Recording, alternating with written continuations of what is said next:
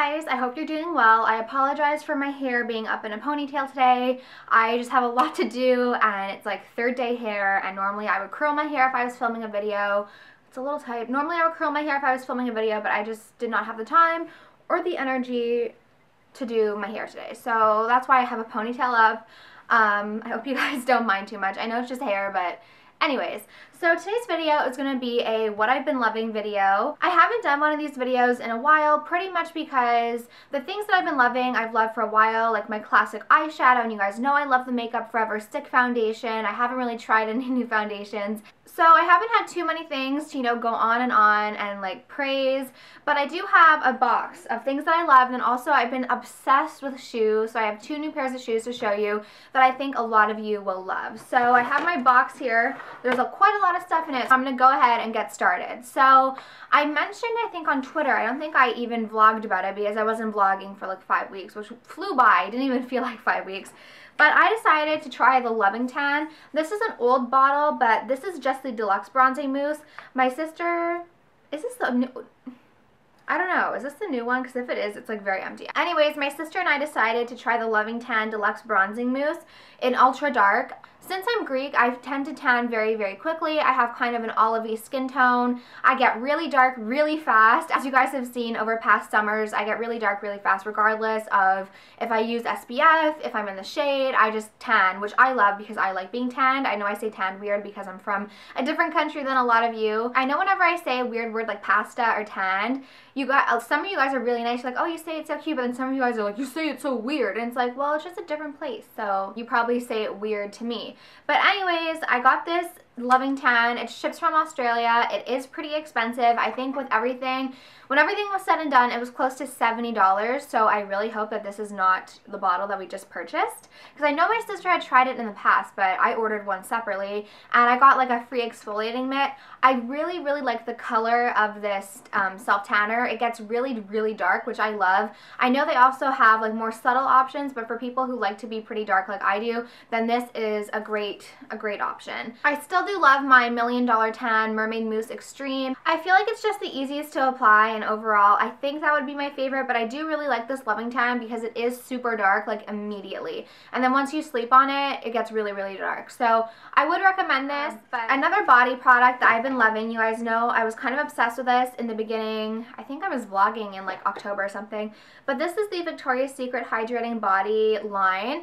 I love the bottles. I feel like it looks so pretty and so chic and like elegant and I really love the whole line. I had the body wash for a very long time in my shower, which is amazing. I have the body oil, which I love for the summertime. It gives your legs the most beautiful glow, but I've been loving this hydrating body lotion. I know a lot of people like butters in the summer, but I just don't like the way, they just feel really heavy on my skin. Like occasionally, especially if I'm in the sun a lot, I will use like a hydrating like body butter, but on an everyday basis, I do prefer a body lotion. It just sinks in quicker and doesn't feel as sticky. So this one is in the Shea. I, did, I decided not to get it in the coconut. I have the coconut milk oil. I have the coconut milk. I have the coconut milk body wash. Um, and I have the Shea oil as well, but for lotion, I just wanted something a little bit more subtle. I haven't been in Victoria's Secret in a while. I find Victoria's Secret so overpriced, and especially since I've been like obsessed with Dragon's Den and Shark's Tank, Shark Tank, Uh, that would be like another current favorite, but I'm obsessed with those shows. And whenever I'm, like my dream in life is to be able to say, and for that reason, I'm out. Like it's I became obsessed with that show because one of my best friends, Tristan, introduced me to it, and now I'm obsessed. And one, oh, this is sound, this is so stupid, but Jim from Dragon's Den followed me on Twitter one day, and at first I was like, oh, I, I was excited because you know he followed me on Twitter, but at the same time I was like, he probably follows like 50,000 people, because like when celebrities follow you and they follow like 49.7k other people, and people get excited over that, I'm like, well, that's not really anything to get excited about. But when Jim followed me, he was only following 77 other people and I was one, I would, he, and he followed me. I was really excited about that because Jim is my favorite. But um, yeah, I just feel like the valuation of Victoria's Secret products, like especially their clothing is really high. Like, I'm not going to spend $60 on a goddamn sweater that was probably mass produced in Bangladesh when I could go spend $60 for a nice sweater at Aritzia. Like, it just doesn't make sense to me. And I don't know. I just, I don't really like buying clothing from Victoria's Secret anymore. because it's just really expensive for no reason and it's not even that cute anymore in my opinion. The next body thing is my current favorite perfume and I am almost out of it. I can't believe it. I've had this since legit 2012. I got it the summer I graduated from high school in 2012. So this is old but it still smells amazing. I use this every summer religiously and I still have not even I mean, I'm like three, a third, of, I'm like two thirds of the way done. So when Mike and I go on vacation in May, I'm thinking that at the duty free, I might need to pick up a bottle of this as well as a pair of Ray-Bans. But um, yeah, Bronze Goddess by Estee Lauder. It is the best coconutty summer smelling perfume. It has been so beautiful here in Montreal lately. I whipped this out and I put it on it. That's what I smell like right now. It just makes me feel like it's summer and it smells so good. And I can't imagine one person not liking this fragrance. And my last little body product is this Laura Mercier Flawless Skin Face Polish. I talked briefly about this in my Sephora VIB Rouge recommendations video, which I'm happy you guys really enjoyed because I had fun making it. But this is the best exfoliator for your face that I've ever tried. The beads are so finely milled that it just really gets off everything. It doesn't have a heavy scent. It just honestly like makes your skin look so smooth. I'm looking at my skin in a mirror over there. It just makes your skin look so smooth, really gets all those dead particles off, and it is just the best skin exfoliator I've ever tried and I've definitely noticed an improvement in my like skin texture. I had a big breakup because I just started my period, which is exciting because I can use my Diva cup again. But um, yeah, I had a chin outbreak because of my period. I just feel like it helped get my skin back to normal. You guys heard me talk about this also in my Sephora VIB Rouge recommendations video. This is the Too Faced Proactive Hangover RX Replenishing Face Primer. I have used a lot of primers in my day and none have really impressed me like this one has. It's not a silicone based primer so it's very smooth on your face. It's not sticky. It almost feels like a moisturizer or not a serum, but just like yeah, like a moisturizer kind of. So I really enjoy it for that aspect. Like I said, in those spring, summer months, my skin does tend to err on the side of combination oily. So it's nice to have this. I almost use it in place as a moisturizer right before I do my makeup. And I've been really loving it. It has coconut water, probiotic based ingredients, and skin revivers. So I would recommend this one. Next two skin things are by Laura Mercier, and this is the, oh, I've had this forever. It came with a concealer and like a corrector, and then in the bottom it has like translucent powder. And then I also have a big version of the translucent powder. And honestly, I love this stuff. It sets your makeup so beautifully. And then I just take a damp beauty blender on top and I apply it all over my face. Like I just dab it all over my face. And it makes your skin look so flawless and glowy and honestly just stunning. It's a little bit pricey and you're like, am I really paying that much for powder? But it's great. I am interested in trying that RCMA powder, but it's hard to get it in Canada. So when Sierra comes to visit me for my surgery, I'm gonna like ship her. If she's flying, I guess I can't ship as much as I want to. But if she's driving, I'm gonna like ship so much to her house so she can just bring me like all the stuff I want to try. So yeah, Sierra, that's the plan. I feel like I've talked about this a lot. I've used it in a lot of my recent tutorials. Laura Mercier Translucent Setting Powder is great. They also have a loose brightening powder, which my sister Tony has. I've used that as well and I do really like it. I just, I feel like you can't go wrong because the quality of these powders are so amazing. The next thing is actually a funny story and this is a Bobbi Brown eyeshadow. Now, I talked about this, I think in my Sephora Get Ready With Me. I didn't buy this at Sephora. I actually bought it at Marshall's and typically I don't really buy things from Marshall's or TJ Maxx like makeup products because they've been open, they've been swatched and it's just kind of unsanitary. But when I bought this, it was like all around like as you can see the tag. So I was like, hmm, no one has ever like opened this. And it looked like a nice brown color as you can see. And it was only $9.99 so I was like I'm just gonna get it. It's 10 bucks. Like what do I have to lose? So because they put the goddamn tag on the back, I had no idea what it was. So I opened it and it seemed pretty big to be a bronze to be an eyeshadow. So I started using it as like a contour powder and I loved it. So I used it in my Sephora Get Ready With Me and one of you guys was like, I think it's the Bobbi Brown eyeshadow in number five, Camel and the only thing that was identifying on this packaging was a number 5. So I looked it up and it was Camel number 5. So she was like, you should use it as an eyeshadow. It's amazing. So I've been using it as an eyeshadow. I've been using it as a contour powder. I love it. This is one of my favorite eyeshadows. You guys know that Hard Candy Sandy Beach is like my all-time favorite all over the lid color. And I've been, I've been getting comments saying that you can't find this in the States. They are constantly restocking it in Canada. I don't know if it's just a Canadian item, unfortunately, but I've been loving these two together. So I love this as a contour powder. I love it as an eyeshadow. It's just great. They do sell it at Sephora and I do think it's worth it. So the next thing I'm going to talk about is a blush. Now, I get so many questions from people asking why I don't wear blush and everything like that. Uh, I feel like when I was younger, I kind of scarred myself.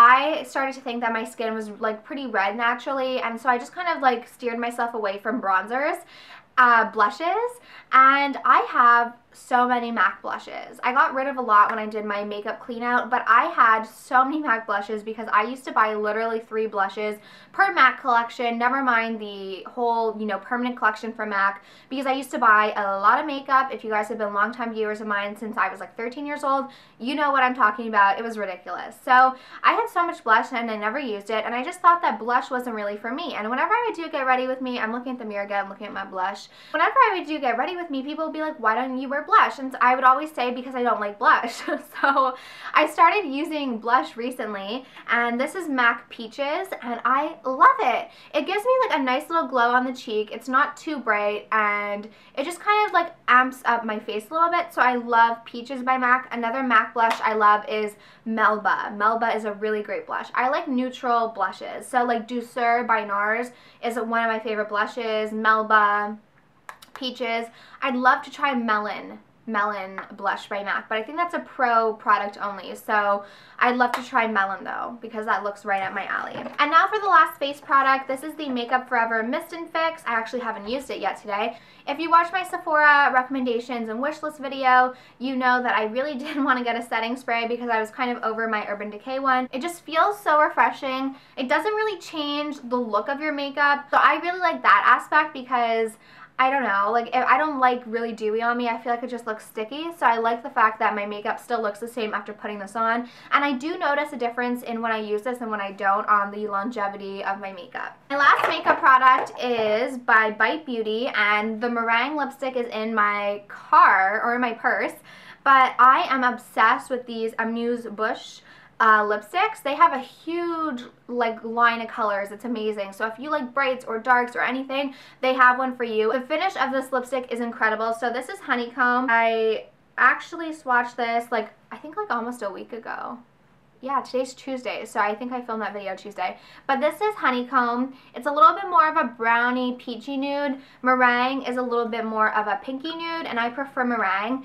But the finish of these lipsticks is incredible. They're not shiny, but they're not matte. They just make your lips look bigger. They're so comfortable to wear. If they had more nude colors, I would be all over that, but I'm really happy to have these two in my collection. And my favorite lip liner of the moment is Laura Mercier Chestnut. I'm wearing it today with uh, the Rimmel London Kate Moss lipstick in number 42 and Fleshpot by MAC with Chestnut. It's amazing. This is like one of my all-time favorite lip liners I'm so happy I finally got it. And my last beauty product of this month, month, we're not doing monthly favorites, remember those?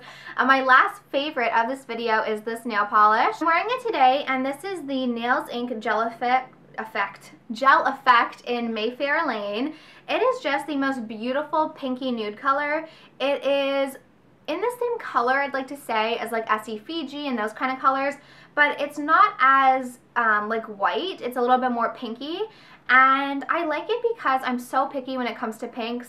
I like some pinks, I don't like other pinks. I'm just very picky and weird, but this is like the most beautiful pinky nude, and I'm going to be doing a nail art with like an evil eye on the nail because my cousin Zoe uh, from Greece, who has that jewelry store that's amazing, she posted a picture on Instagram, so I'm going to try and recreate the little look. I'm sure you guys will see it in a vlog. This has been my favorite nail polish, and I haven't really worn any other nail polishes besides this.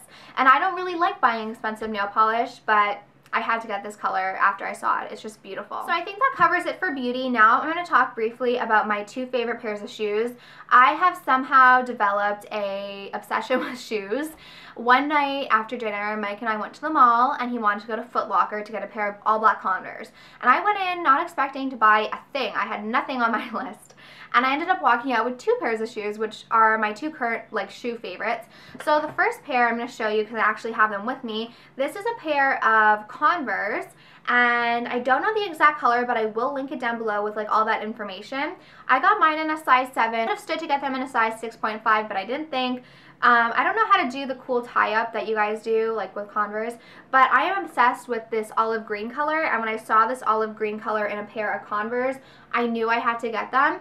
I am obsessed. There's just nothing better than a pair of Converse to me. I love Converse and typically I like to wear those slip-on Converse. If they had those in this color I would have gotten I would have gotten it in this color but they didn't but yeah the slip-on Converse are amazing because I don't know how you cool kids like tie your Converse you know I fun fact about me I don't even know how to tie my shoes um, I do bunny ears still because I don't know how to tie it properly like an adult, so yeah, that's fun. Uh, but yeah, I don't know how you cool kids tie up your Converse and make them look all cool, but I don't mind looking like a little nerd um, with them just tied up like this. But yeah, you guys need this. I know you guys like my style sometimes. When I really love something, I'm like, you need it and you need these. I think they're just awesome. Last pair of shoes I have, I actually don't have with me right now, but they're a pair of Nike Roshes, Roshis, whatever. They're actually a kid size.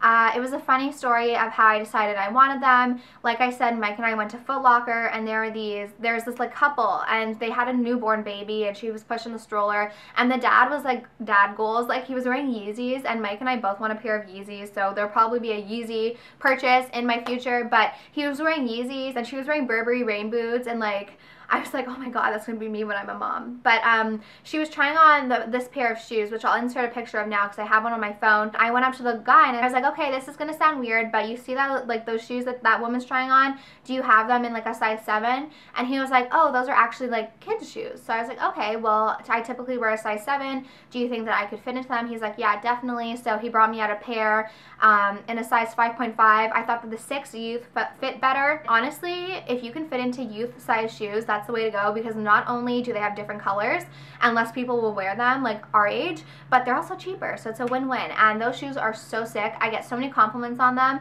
and I just love the way they look. So yes, I will link them both down below. Uh, any other favorites? Um, I'm gonna get questions about my necklaces. This is our crystal eye choker in rose gold. I love this, especially like with this green color. And then this is the Petite Beaming Lariat. In this watch, I got a lot of questions about it. It's Michael Kors. I don't believe they still make it, but um, I will find, I think you can find it on like Amazon or eBay, so I will link it down below if I can. So those are my current favorites. I hope you enjoyed. I know I haven't done one of these in a very long time, and I'm just such in a YouTube groove right now with vlogging, and just I'm so happy to be back. So thank you all so much for watching. I hope you're having a great day or night depending on when you watch this. As always, links to everything will be listed in the down bar down below. Don't forget to comment and subscribe. I love hearing from you guys and recognizing your usernames, so don't forget to comment and subscribe to me if you haven't already. So I'm to let you go now, and I'll talk to you soon.